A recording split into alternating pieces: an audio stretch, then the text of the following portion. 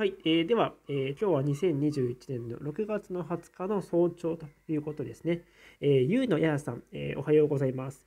話題に出てたパワーストーン、私は誕生石のものは持ってますよということなんです。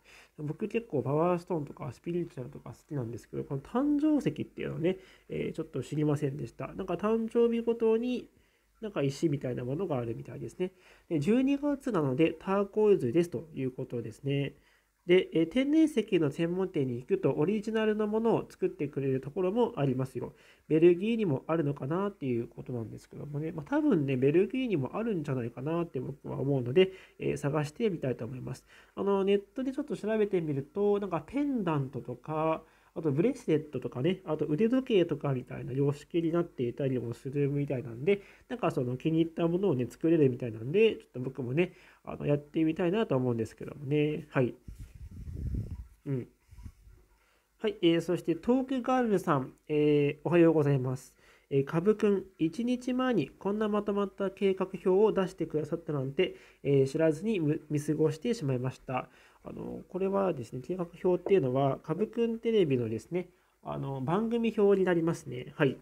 そうなんですよね。で、どこか違う YouTube チャンネルの何かのチャートかななんて思っていました。え本当にかぶくんは真面目ですねということなんですけども、まあ、早速その番組表には書いていない特例の視聴者交流会っていうのをね、えー一つこう追加していて、まあ、すでにね、あの特例が2回もあるという感じになっておりますが、おそらく視聴者交流会はやっぱりあの週にあの1日にですね、2回やる可能性の方が大きいと思います。はい。うん。なので、えーまあ、皆様時間のこの早朝と、あと午後ですね、えーに、えー視聴者交流会2回やっていった方がいいかなと思っています。はい。ありがとうございます。楽しみにしています。ということですね。うん。はい。まあ、あの、何かあったとしてもですね、まあ、何かはぬかを、えっ、と、早速、こう、臨機応変に、まあ、チェンジしていこうかなとは思ったりはしているので、えーその都度、こう、まあ、あの、方向性に関しては、まあ、臨機応変に変えていこうかなっていう気持ちがありますね。はい。はい。えーそして、飯田様、えーこんにちえーおはようございます。えー森脇さんのサラ・ブライトマンも聞いてから、株さんの演技も見させていただきました。あの、坂の上の雲のスタンドアローンはですね、えーサラ・ブライトマンさんの声、そして森脇さんの声ですね。2つのバージョンがあります。はい。とても素敵で、あとは歌詞のない、なんか、あー、おー、おーとかね、言っているバージョンのスタンドアローンもあるみたいですね。なので、気に入ったものをこう見ていただけると嬉しく思います。この曲やっぱ感動的なのでね。はい。で、えっと、そうですね。で、えー、カブさんの演技も見させていただきました。あありがとうございます。えー私の感想は、カブさんと同じく歌詞とメロメロディーと言ってもいいです。えーただ、すぐにはフィギュアスケートとイメージがつかなかったのが正直なところと。だから、緩急のね、えー感じが少し薄かったなっていう感じはあるんですけどもね。で、え最後にカブさんの演技を見てからです。つながりました。えー盛り上がり、こういう感じなんだなと、イメージ能力低いのかな、私は。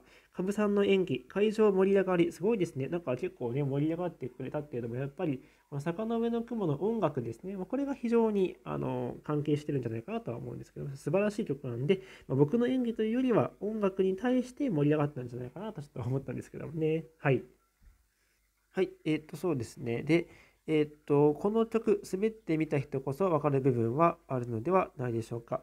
で歌手の方が歌うのを聞くとですね、えー聞き入ってしまうのですが、演技として見た方がイメージ湧きました。えー最後の盛り上がりもオーケストラの編曲とかにもよるでしょうねと。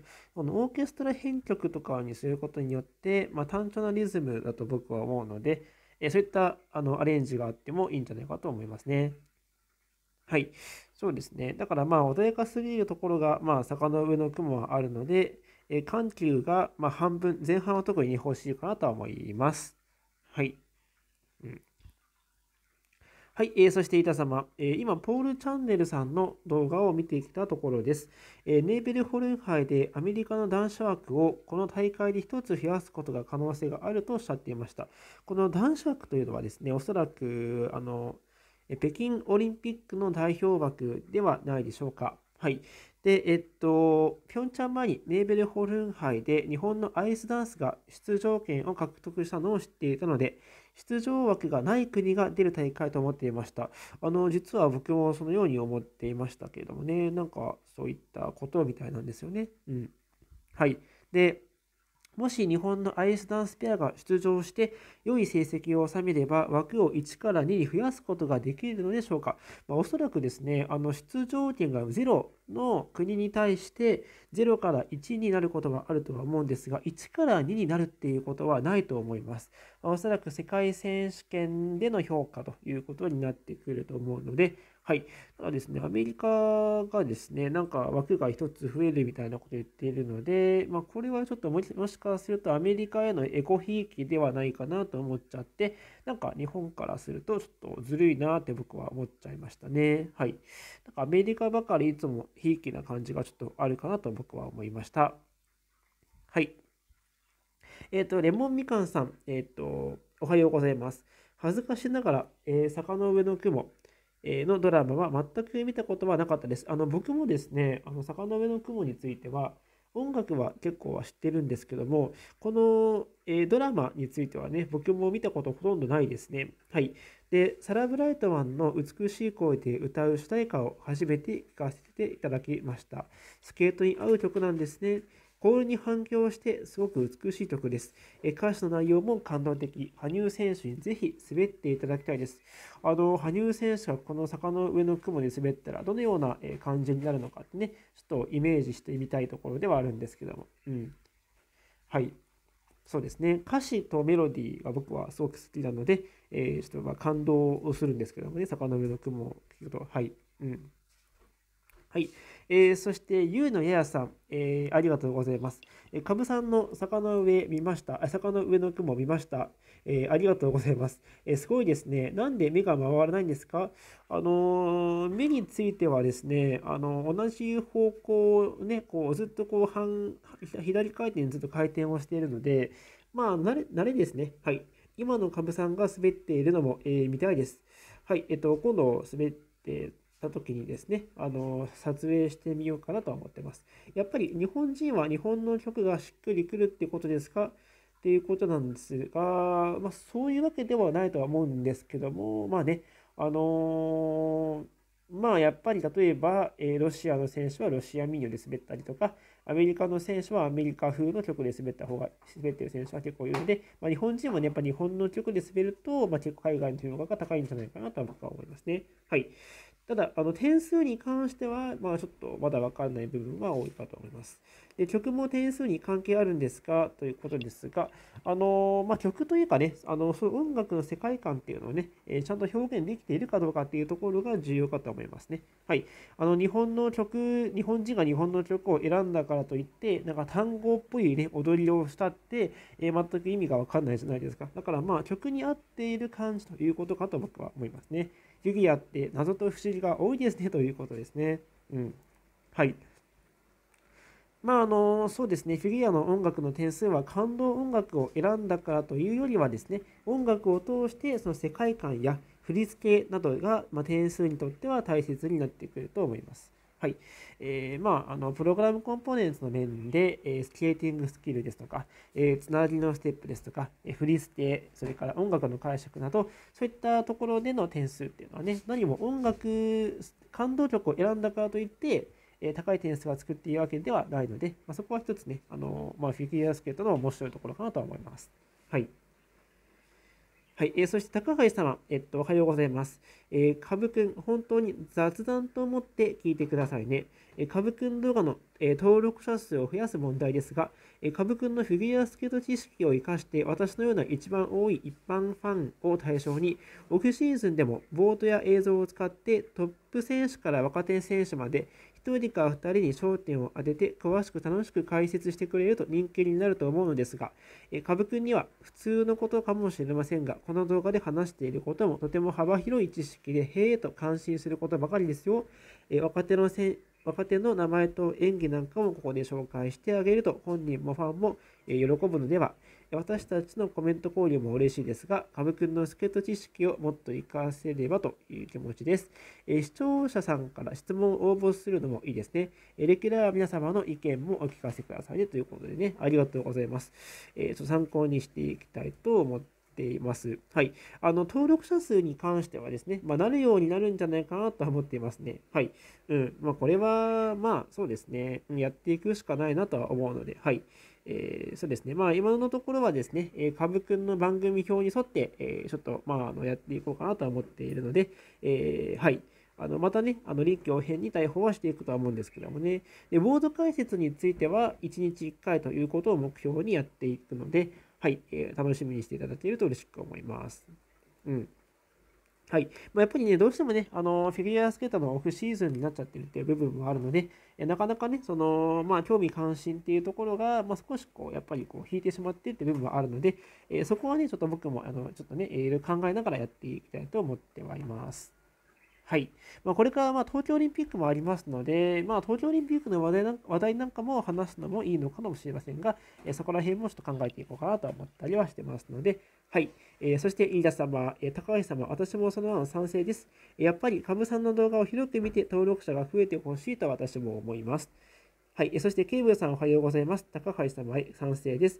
えー、明暗だと思います。視聴者様に募集してもいいと思います。ということでね。はい。えー、ちょっと、えー、なんか参考にしてみたいと思いますね。はい。うん。まあ、あの確かにこう楽しみな若手の選手の魅力については触れてなかったと思うんで、もっともっとお話できればなと思います。結構若手の選手いたりはするんですけどもね。はい。うん。はい。えー、そして、たむたむさん、えっ、と、こんにちは。ありがとうございます。えー、かぶくん、こんばんは。えー、突然ですが、ちょっと物騒なお話です。えー、クマについて、残念ながら、人と接触した、えー、傷を負わせたクマは、残酷残酷なのは承知で殺処分しなければいけませんというルールがあるみたいですね。で、クマにすれば、ちょいと前足で払えば肉が裂けて出血した。えこれは食い物だと認識しかねません。もし逃げてこう産めば、えー、子熊に簡単に手に入る、えー、食い物を教えるでしょう。えそれが人だ人だろうが熊には関係ありません。まだ町に、え、出ただけならギリギリ麻酔で山に帰してたのですが、被害者に重傷を負った方もおられたそうです。まさかと思いますが、目的を持って襲われたかもしれません。えー、熊さんかわいそうではないです、え、過去恐ろしい事件がいくつも発生しています。耳の痛い話ですみません。私の住む地域もいよいよ熊が出没しだして不安があります。近所に朝起きて玄関開けたら目の前にイノシシのでっかい、えー、ケツが2つ並んでたと笑い話がありますと。田舎です。ベルギーや周りの国には危険な野生動物はどんなのがいるのですか、えー、どのように炭焼けをしているのか興味があります。こちらではもう、えー、無作に近いです。え関係者方々は必死に頑張っていただいているのですかということみたいですね。はい。やっぱりちょっと熊さんに関しては僕はちょっとあの殺してしまったのがかわいそうといったことに対してのえ意見かなとは思うんですけどもね。はい。えっと、なんかその一つね、僕は聞いた話なんですけど、一回ね、人間とかを傷つけて、血の匂いとかを噛んでしまうと、それをですね、やっぱり味を占めて、どんどん人を襲ってしまうっていうことは、やっぱり僕も聞いたことあるんですよね。だから、それがやっぱりあると思うのでっていうことを考えてでの、えー、まあ、あの苦渋のせあの苦渋の決断だったのかもしれないですよね。はい。うん。はい。えー、そしてですね、ちょっとここからは、あの僕は、えっと、ノンコメントでいきたいと思います。結構ね、あの、熊的に、熊さんみたいな感じで、ちょっとね、あの、波乱万丈が起こっているようなので、はい。えー、そういう感じですね。はい。場外乱闘みたいな形になってしまいましたということなんですね。はい。あの、そうなんですよ。まあ、コメント場内乱闘は熊だけにね、していきたいという感じではあるんですけどもね。そう。だから、まあ、熊さんに関しては、まあ、一度動物がね、あの、血を見るとですね、さらに攻撃的になっちゃうというところがあるので、えー、まあ、なかなかこの方法、他の方法ないかなとは思うんですが、えー、ちょっと難しい部分はあるということでしたね。はい。はい、えー、そして白い恋人市民様おはようございます。えー、かぶさんこんばんは。坂の上の雲は見ていました、えー、10年ぐらい前の放送で、これは確か3年間にまたがる超大作でした。愛媛県松山市出身の軍人秋山さん、えー、そして真の、真のク正幸兄弟と歌人のですね、正岡式の3人を描いたスペシャルドラマです。えー、大河ドラマではありま、あ、僕ね、大河ドラマかと思っていたんですけど、勘違いで、大河ドラマではないということでしたね。で、年末になると毎週1回で年4、4、5回放送されたものです。音楽もよし、えー、ドラマもよし、で、でも全部見て完結させるのが大変でした。えー、サラ・ブライトマンは CD 持っているはずです。え、フィギュアスケートに使うのは意表をつかれた気もしますが、えー、大河ドラマのテーマが使われているのだから、あとありだったのですね。え、身体が、えー、はちゃめ、身体が、え、ー、と、はちゃめちゃだった頃なので、綺麗な曲にぐぐっと来ていたかな。飯田様、あ、い姫、通信、えっ、ー、と、飯田様、あ、い、えっ、ー、と、梶山選手、いい演技してくれそうな気がしました。はい、えー、そして飯田様ですね、白い恋人清水様、そうですよ、えー、正岡式は愛媛県です。で、これは筑後じゃなくて、道道越か、道後かな？ちょっとお待ちくださいね。はい、えー、道後動物園ですね。道後動物園の敷地の中に、えー、敷記念館があります、えー、ちなみに高校時代はそこの近くに住みませんでした。あ、住んでました。住んでましたですね。えー、ドラマは残念ながら見てませんということですね。はい、えー、そして白い恋人清水様、3年もかけてかけた超大作でした。えー、体調がダメな時なので、えー、記憶が飛んでいるところもありますが、愛媛すごいな、私の感想で、えそれを言う機会がまさか来るとはね、と。リーダー様、えドラマを見ていない、知らなかったのが残念です。愛媛県って地味であんまり有名人もいなくて、みかんと夏目漱石でしか通用しないと思っていました。え最近モデルさんがなんかすごい女の子が出てきたらしいですが、まさかここちらで愛媛県つながりの話題に出会えるとは。うん。はい。えー、そして白い小人清水様。もちろん、夏目漱石も出てきましたよ。漱石は出番が短かったから、俳優さんが思い出せないけど、で、正岡式は香川照之さんでした。演技がすごしすぎて、結核で死にゆく式を演じるために17キロ痩せたはず。あ、すごいですね。こういうか、俳優大変なんですよね、やっぱり。インタビューで性格が変になってきて、え食べてる幸せそうな人に噛みついたって言うということですね。うん。はい。で、ちょっとこう盛り上がっているという感じで、飯田様、えー、式役が香川さんですか？それは見たかった。レンタル屋さんに DVD とかないかな？多分ね、YouTube に流れてんじゃないかなと思うんですけどもね、探せばあると思います。長いので、1日では見切れる、あ、もうすごい長いみたいですね。はい。うん。そして何回かに分けて、分けたりすれば、阿部寛さんが兄、本木さんがですね、弟、ずいぶん日本の中で立派な軍人、えー、兄弟が愛媛県に、もっくん僕実は大好きなんですよ。今イギリスに住んでますよね、もっくんは。飯田さんは、私の好きな俳優さんばっかり出てるんですけど、どうして見なかったんだろう ?GEO とかに置いてないかなということで、ゲオですね。で、えっと、好きな俳優さんばっかりなので、やっぱり探しましょうということですね。うん。はい。えっと、僕はこういうふうに求めていて、坂の上の雲は大河ドラマではないということだったんですね。ありがとうございます。とてもいい作品だと大好きな高校の先生が僕に教えてくださったんですが、まあ、見ずに終わってしまったんで、先生に顔向けができないということです、僕は。はい。まあ、ただ音楽がね、僕はすごい素敵なんで、はい。あの、なんだか鍵山優真選手がこの演目でとてもいい演技をしそうな予感が出てきましたね。ま、鍵山選手結構こういう勇壮な、勇壮な曲がね、好きなあの感じが僕は見受けられるので、まあ、彼がこれ選ぶのは現実感が高いのかなってちょっと思ったりはしてますね。はい。うん。はい、えー、そして、桃田さん、えー、株組へ、三原舞選手のことを、トークガールズ様がコメントを載せていたので、私も試験で述べさせていただきます。えー、去年の全日本に関しては、男子は羽生選手が優勝するのは当然と思っていたので、えー、女子の3位争いが気になったので、えー、すごく緊張しながら見ていました。で女子で制限、コロナ禍なので、えタオルや拍手の多い選手はダントツで三原選手でした、えショートでは素晴らしい演技だったので、順位としては3位でしたね。フリーになってどうなるかなと思って見ていたら、三原宮原聡子選手が表現力があって、え、プログラムもすごく良くて、ノーミスで3位に上がりましたね。でも確か宮原さん、最後のダブルアクセルトリプルトーループ、転倒した気がするんですよね。インタビューの時も感激して泣いていらっしゃいましたね。え男子もすごいのですが、女子の3位争いの方が大変だと思います。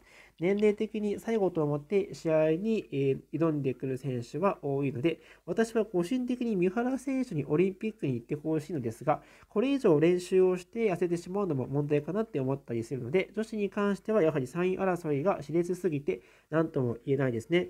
で三原舞依選手には個人的な幸せが似合うかもって思ったりするので、コメントを書きながら悩み悩みって感じで書いていますね。ということみたいですね。うん。はい。で、えっと、これに関しては、リーダー様も、えおっしゃっていて、え私もピョンチャンオリンピックを逃し、え病気を持ちながら復活した三原舞選手を応援しています。でソビエトのイリナ・スルツカヤ選手、あの心臓病でしたよね、確かね。難しい難病、病気で1シーズン休んで見事復活したこともありました。お母さんも確か同じような病気同じ病気だったんですよね、彼女は。で、今回も世界選手権に出てほしかったのですが、叶いませんでした。あとあと一歩でしたよね。あの僕はいけたんじゃないかなと思ったんですけどもね、まあ、世界選手権でも彼女はいい演技してくれると思うんですけども、はい。えー、オリンピックにはぜひ出てほしいですが、女子の3枠目の争いはかなり熾烈な争いになりそうです。あのでも私はひたすら応援します。えー、誰になるかな本当にもうあのねえすごい気になるんですけどもね、全日本選手権が気になる部分ですよね。で、えタムタム様、えー、桃田様、飯田様、私も三原選手に頑張ってほしいと思っています。で、えっとですね、彼女は滑っている時にものすごい、え気持ちよさそうに滑っていますね。あの、三原選手のスケーティングの素晴らしいところって、あの、非常に、非常にですね、自然体なところだと僕は思うんですよね。うん。で、誰よりもスケート好きと、えー、こちらにビンビン伝わってきます。えー、見ているだけで幸せになります。あのー、本当に素敵なオーラ、スピリチュアル的な素敵なオーラを僕は持っていると思います。三原選手ね。で、全日本の時も荒川さんが筋力が落ちて、落ちてると心配はされていましたが、えそれでも上位にランクを獲得して、え強化枠を取れたので、ものすごいことと今から再シーズンが楽しみです。え強化枠は全日本の順位で決まるで正しいでしょうかえっとですね、今日どうだったかな？ちょっとね、僕、この評価枠についてはあんまり詳しくはないんですけど、でもね、もうちょっと強化枠があってほしかったのは特別強化枠ですよね。はい。うん、で、僕はこのようにまとめました。えっと、えー、まさにね、その部分で、荒川静香さんも驚愕、あの、驚いていてですね、まさに、あの、スピリチュアルでも働いているんではないかと思うくらいの、えー、三原舞依選手の滑りはね、えー、痩せてしまったのに力強かったっていう部分がありました。あの、この力はどっから出てくるんだろうって思う、そういった感じですね。うん。で、えっと、僕は彼女が試合やエキシビション、えー、それからショーですね、えー、いずれも選曲ですね。これが常に素晴らしいと僕は思います。うん。えっと、感謝の気持ちを込めて滑っている。できれば、三原舞依選手の夢であるオリンピック、三原舞依選手の夢がオリンピックであるならば、もう、あの、行かせてあげたいっていう気持ちが僕はすごくありますね。ただ、三原、宮原さんも素敵で、彼女の努力も素晴らしい。いつも代表選考はハラハラしますが、嫌でもありますね。やっぱりこの全日本のね、あの、まあ、えー、オリンピックシーズンの全日本選手権のね、あの代表選考会ってどうしてもこう、なんか、あの、面白いんですけれども、まあ、頑張りね、やっぱ出れない選手もやっぱりいるので、ちょっとね、嫌でもありますよね。はい。はい、えー、そしてトークガールさん、えー、かぶくん、いい歌ですね。えー、転調して、あのさらに、え、最後に向かっていく感じが、毅然として進んでいく羽生選手にふさわしいと思いました。で、森脇さん、え、歌の前に挨拶をされて、ちょうど、えーと、震災後6ヶ月、復興のためにあの祈りを込めて歌いますという内容でした。えかぶくん、あなたの演技も素晴らしい。とても良かったです。ありがとうございます。で、森崎さんは一瞬、安倍七海コーチに似てるなと思いましたということなんですよね。まあ、かなりだから、あの、基調としては、吉調としてはいい吉調と捉えたい部分ではあるんですけども、この音楽ね。はい。うん。そうですね。もう早く羽生結弦選手の来季のプログラムがもう知りたくて仕方がないという状態にもなってはいますね。はい。うん。はい。えー、そして、桃田さん、推進皆様へ、どうしてフィギュアではアメリカばかり得をするのって思っている方が多いですが、フィギュアの放送時間帯はアメリカのゴールデンタイムに流すっていうものはもともと決まっているんですね。で、それを考えると、もともとがアメリカはエコひいきされている国なんですよ。これを日本人がいかに努力をして世界にアピールするかは今後の課題です。あのピョンチャンオリンピックのね、えー、公式練習の時もアメリカのですね、えー、なんか起きている時間に合わせて作ったということで、すごいこう、なんか眠い状態でえ公式練習をさせられてしまっていることに関して、まあ、町田達樹さんがですね、えこれは選手のためになっていないということで、え怒っておられましたよね。はい。だからまあ、選手のためを一番に思った開催っていうのを心がけてほしいなって僕は思うんですよ。うん。えー、そして、えー、日本人の得意な種目はどんどんと欧米がルールを変えてしまうのです。えー、スキーのジャンプも同じです。ですから、えかえって海外の人は羽生選手のファンが多いのです。えアメリカでも人種差別がありますから、え羽生選手のように、え綺麗な選手が女性にはモテます。で、ネイサン選手はですね、これちょっと面白いんですけども、あの、アメリカの女性にモテなくて、初めて、えー、世界選手権で優勝した時に、一般の白人女性にバカにされて泣いたということなんですよね。こんなエピソードがあったとはちょっとあのびっくりしました。桃田さんは非常に詳しくて、えーってちょっと思っちゃいました。このエピソード。皆様ご存知だったでしょうか？はい。うん。えー、そして、続いてですね、フィギュアの世界は見た目と違って厳しい世界なので、えー、アメリカばかりが得をすると言っても、私生活では幸せでない人もいます。いろいろと考えなければいけないこともありますよね、ということなんですよね。うん。あのー、そうなんですよね。アメリカはやっぱりその、まあ、保険がね、なかなか適用できないっていうところで、まあ、今回のこの新型コロナ禍において、あの手術とかね、あの酸素マスクとかできなかったりする人もいたりするんで、やっぱこう保険がね、厳しいっていうのがアメリカンドリームとは結構かけ離れてるっていうのがあるので、僕は結構アメリカは厳しい社会だと僕は思いますよ。うん。はい。そうですね。だから、桃田さんの情報がすごいなと思いました。姉さんが白人女性に泣かされたっていうのは、あんまりにも、う、うんっていうちょっと感じでしたね。はい。まあ、人生はそんな簡単にはうまくいかないもんだなとちょっとは思いましたね。はい。うん。はい、えー、そして、えっ、ー、と、桃田様ですね、カブくんへ、えー、最初、カブくんが大河ドラマって言っていたので分かりませんでしたが、えー、カブくんが滑っている曲を聴いて、ああ、あの有名な曲ねって思いました。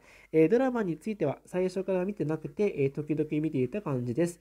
え前に視聴者交流会で、えどなたかがですね、天と地とは難しすぎて、ジャッジに伝わっていないのではってコメントをした方がいたので、確かに曲を変更されるかもしれないですね。と本当に桃田さんはね、すすごいなんか覚えてらっしゃらっしゃるんですけどもね。あの、ね、だからそうなんですよね。うん、これどうするかっていう感じだとは思うんですが、まあでもね、まあ、昨日お話しした通りに、あの、おとといですね、お話しした通り、まあ、あの、北京のね、雰囲気が赤とかね、え炎なイメージになるんだったら、テントちょっとっていうのは逆に生えてくると思うんで、えー、まあ、ちょっと注目してみたいなと思います。はい。うん。はい、えー、そして、テーブさん、おはようございます。えっ、ー、とですね、魚で2015年の0413法して、えー、羽生結弦が語る、え新時代、羽生くんが松岡修造さんとお話をされていて、えー、パトリック・チャーに勝つために他の部分ではかなわなかったので、4回転の数を増やして立ち向かうしかないなかった。で彼が思っている以上にこの時代を作ったのはパトリックだと、えー、フィギュアはそこはない。4回転だけではなく、スピン、ステップ、スケーティングは進化する。すべてのクオリティを常に追求したい。それがフィギュアの面白いところ。それが皆さんが見ててファンになる方が多いところだと思いますよとおっしゃっています。で最後に松岡修造さんがお話をされていて、荒川さんと羽生さん、2人とも4回転を作ったのは、パトリックだと。そしてジャンプを飛べればいいんじゃないんです。すべてにおいてオールラウンダーになる。これこそが美しい。これこそがフィギュアなんだとおっしゃっていたそうです。で前に試合後の、記者会見の時に羽生くんが4回転の種類を増やしてあのいたのは、ボーヤン選手というようなこともおっしゃられていました。え新時代を作ったのはパトリックと荒川さんと羽生くんが言っている。なるほどと思いました。でも、この時のフィギュアに対してのお気持ちがそのまま変わらず実践している羽生くん。やっぱりファンでよかった。幸せです。えー、そして坂の上の句も聞いたことがないです。調べてみます。カブくんの説明を聞いたらめっちゃいい感じですね。ということなんで、そうなんですよね。坂の上の句も本当に好きな曲なんですけども。はい。で、えっと、桃田様、えー、警部様へ、カブくんの坂の上の雲ですをタップすると、カブくんのアイススケートが流れて、この女性が歌っている曲ですよ。そうなんですよね。あの、そして、えー、桃田様へ、はい、そかそか了解です。間抜けないことをしてましたということなんですけども。はい。で、えっと、あのパトリックさん、ケイブル様がおっしゃっていたパトリック・チャンについてちょっと僕、感想を述べるとですね、あのパトリック・チャンのあの武勇伝が一つありまして、あのカナダのパトリック・チャンはですね、あのこのパトリック・チャンが有名になり始めた頃はですね、まだ4回転ジャンプを飛んでなかった頃だ、2010年とかね、あったんですけど、彼はですね、あの、フランスのブライアン・ジュベールというね、選手がいるんですが、彼のことをバカにしていました。どのように馬鹿にしていたのかというと、彼のことを4回転サイボーグっていうふうに言ってですね、まあ、あたかも4回転ジャンプしか飛ぶことができないというような感じで、え結構批判をしていたことがありました。はい。あのー、で、えー、パトリック・チャン選手は、もうスケーティング、フィギュアスケートの醍醐味というのは、フィギュアスケートの醍醐味というのは、まあ、美しいスケーティングとか、まあ、スピンとか、まあ、トータルパッケージというふうにね、あのおっしゃっているんですよね。だから、あのー、まあ、ジャンプばかりが目立つブラインアン・ジュベールのことがどうしても気に食わなかったっていう部分があるかと思うんですよね。はい。で、えー、ただですね、やっぱりブライアン・ジュベルとしてもやっぱ4回転ジャンプをやるべきだというね、そういう意見があったかと思うんですが、でもですね、えー、パトリック・チャンはあの今後ですね、えー、バンクーバー、えっと、ソチオリンピックを目指すにあたりまして、え彼が持っている本当にこうすごい高いスケーティング技術に加えて4回転トーループを身につけてしまった。で、この4回転トーループがもうブラインアン・ジュベールよりも本当にすごいね、え、ところに行ってしまったということで、ジャンプもできる、スピンもできる、スケーティングもできる、トータルパッケージもすごいできるという、そういった魔物になったわけですよね、パトリック・チャンはね。もうパトリック・チャンが難しい4回転ジャンプを決めていくと、もうこれはもう勝てる人がいなかったわけで、えー、彼もね、有頂天になっている状態で、まあ、ソチオリンピックに向かったんですが、まあ、あの精神的にやられてしまって、まあ、羽生選手に負けてしまったっていうところがあるわけなんですよね。はい。で、羽生選手は、そのパトリック・チャンがいたことによって4回転トーループだけではダメということで4回転サルコーというジャンプの種類を増やした。そして、え後半にあのトリプルアクセルとか羽生選手の得意なジャンプを入れて後半点数を稼ぐというブライアン・オーサの作戦ということで、それでこう作戦、あの頭、頭脳で勝ったということがあるわけなんですね。で、結構ジャッジは羽生選手にあの勝たせたくなかったのかなっていうのがあって、ボトリック・ちゃんにこうね、頑張って点数を上げたんですけれども、まあ、スピンとかでも精細を変えたり、ダブルアクセルでも失敗があったりしてですね、えー、パトリック・ちゃんは点数を伸ばすことはできなかった。それで、えー、まあ、羽生選手が優勝ということになったわけなんですよね。うん。はい。なので、まあ、あのそういったことを考えると、あの、まあ、パトリック・チャン、まあ、要はソチオリンピックの前まではですね、えー、まあ、4回転ジャンプはやるけれども、あんまりスケーティングが綺麗じゃなかったんですが、ソチオリンピック以降はですね、美しいスケーティング、トータルパッケージに加えて4回転ジャンプとかスピンとかっていうことになってくるんで、より難しい時代がこのパトリック・チャンを起点に始まったっていうのはとてもね、僕も納得だなとちょっと思いましたね。はい。うん。そうですね。だから時代は変わってきたのかなとは思いますね。はい。はい、えー、そして、たむたむ様、えー、坂の上の雲見ました。素晴らしいドラマでした。えー、見て感動して本を買いました。えー、かぶくん、こんばんは。えー、深夜の、深夜のコメントなので、えー、テンションが変です。えー、僕もですね、今、あの、夜の11時半を、え、超えていて、この後コメント交流会のこの動画を撮った後に僕は寝ていて、皆様僕は寝ている時にですね、えー、僕のコメント、えー、交流会の動画を見ているのかなって想像はするんですけどもね。はい。僕もテンションは、まあ、今日はどうかな雷があったりするので、それでおかしくなってる感じではあるんですけどもね。挨拶が後になりました。かぶくんおすすめの理由を聞いて私も見たくなりました。久石氏の音楽は感動するものが多いです。久石さんの音楽、本当素敵な曲多いですよね。隣のトトロ、魔女の宅急便、千と千尋の神隠し、えー、それからね、ホープレガシーとか、他にもすごいいい曲がいっぱいありますよね。うん。で、鍵山選手はとにかく滑らかな、えー、滑らかな、スイースイーな滑りですね。えー、同世代の頃の羽生選手でもあそこまで滑らかさはなかった気がします。え、だから第一に育ってほしいと願わずにはいられません。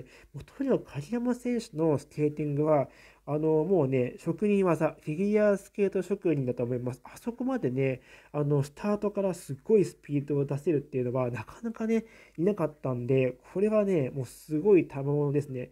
で、ジャンプもね、しっかり空中で止まってからね、飛べるんで、あ、飛ぶことができるんですよ。だから本当にこれは将来は楽しみだなと思いますね。はい。まあ、あの今後ね、新時代を鍵山選手はどう切り開いていくのか、これがね、活躍が楽しみになってくると僕は思いますね。はい。えー、そして、桃田さん、えっと、歌舞伎運営映画の告知になりますが、過去の東京オリンピック、長野オリンピックの時の実話を映画化したストーリーです。えー、スキーのジャンプでですね、ジャンプは2回飛んで合計点で競います。え、多分船木って原田さんが叫んだ、船木って原田が叫んだオリンピックだと思います。1度目のジャンプの時は日本は4位だったと思います。そして外国の人で特にドイツ人が風がきついからとてもえ選手は食べないから、もうこれでメダルを決めようというのですが、日本人は諦め,、ま、諦めていません。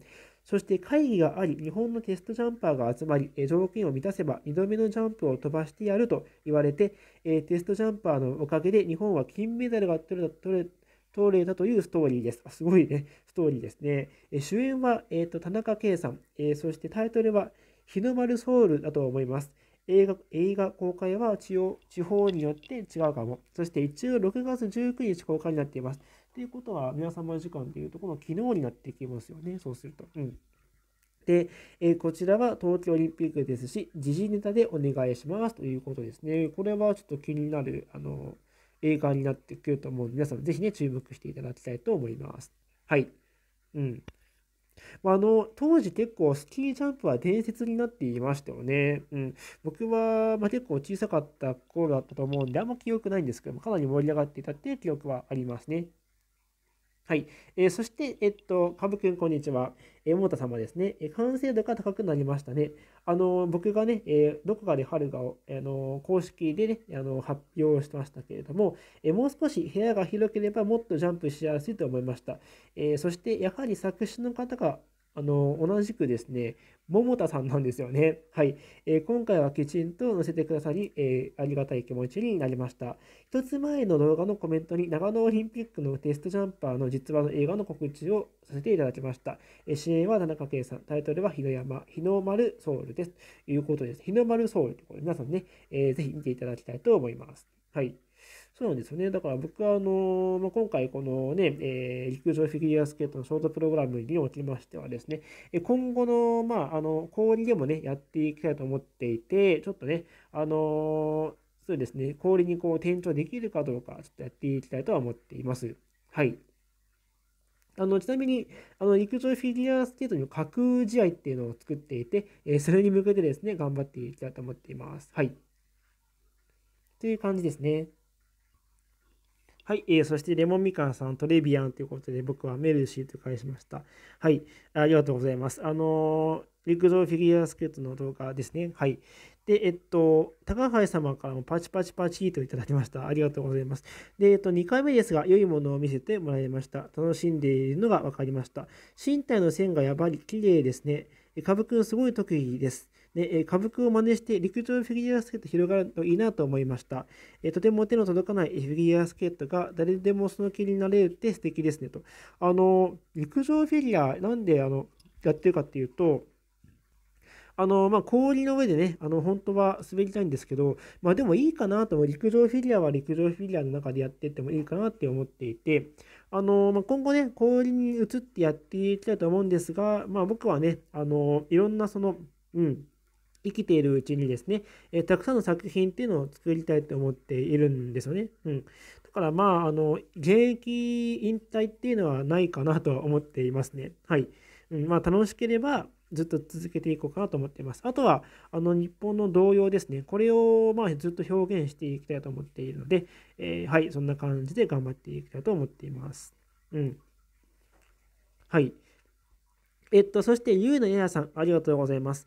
えー、すごい、足首、ぐいっていきませんか？なんかね、足首はね、あの、なんか大丈夫なんですけども、気をつけなければいけないですよね。衣装も、えー、この前作ってたものですね、えー、ぴったりよく似合います。あの、今回はですね、あの、ズボンの中に、えー、緑のね、あの服をね、入れませんでした。はい、わざと、わざと入れないで、こうひらひらみたいな感じにしてみました。ぴったりよく似合っています。えー、これ何テイク撮ってるんですか？一発 OK ですか？ということなんです。今回はね、一発 OK だったんですよ。はい。あのー、それもな、なぜかというと、え毎日ですね、え1時間くらい、えーと、練習してきたんですよね。だから、あのまあ、それで、結構ジャンプが安定してきたんで、えー、取ってみようかなと思ったら、それでも少しバランスを今回崩した方なんですが、まあ、それでも、あの、やっぱり毎日練習したので、えスピンなんかも、あの、まあ、結構決まったかなっていうふうに自分で自己満足してますね。はい。でも私は株さんに一つだけ勝てるところがあります。え私はもうちょっと足が上がりますということなんですよね。はい。え、気になりますね。で、フリーの方も楽しみにしていますということで、今フリーね、作っている最中なんで、え、またフリーも頑張っていきたいと思います。まあ、フリーね、フリーズ系ね、覚えるのがちょっと難しいんで、少し時間がかかっちゃうと思うんですけどもね。はい。そして、ケイブさん、ユウのやや様へ、今日も可愛いユウのやや様。それはすごい柔らかいんですね。あの、僕ね、硬いんですよ。僕も同じく。ケイブおばちゃんは骨カチカチやから足上げたらもう片方ついてきて、尻餅ついてしまう。若いっていいなということなんですよね。うん。はい。そして、ユンネヤさん、えー、ケイブ様、ありがとうございます。体だけは結構柔らかいです。もしかしたらバレエをされていたのかな？そうすると。イナバウアーも結構だ、格好だけはできるんです。でも、ジャンプのくるくるはどうしてもできません。あのね、ジャンパーね、もう慣れですよ、慣れ。あのもうずっとくるくるくるくる同じ方向ですね、左回りをずっとくるくる回り続けて、えー、慣れていくということになるので、まあ、これは好きな選手を見てね、えー、もう真似していくことで自然に身につくかなと僕は思ったりはしますが、はいまあ、僕もあの人のこと言ってる場合ではなくて、えー、自分がね、頑張らなければいけない感じではありますね。はい。で、そうですね、まあ、あの前にちょっとずつ、えこう練習していこうかなと思っていて、まあ、自己満ではあるんですが、今回はね、あの自己あの評価としては、まあ、結構良かった方かなと僕は思ってはいます。はい。なんで、次フリーも公式発表できるように頑張っていきたいと思いますね。はい。えー、それでは皆様、えー、応援のメッセージとかもいただきましてありがとうございました。えー、それでは、え今日はこれで終わります。ではまた。